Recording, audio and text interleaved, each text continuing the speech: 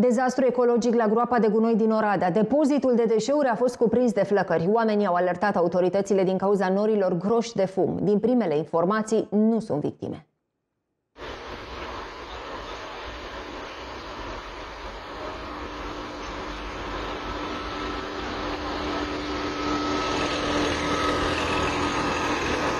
Incendiul s-a produs la groapa de gunoi a orașului Bihorean, Episcopia. La fața locului au fost mobilizate mai multe autospeciale de lucru cu apă și spumă.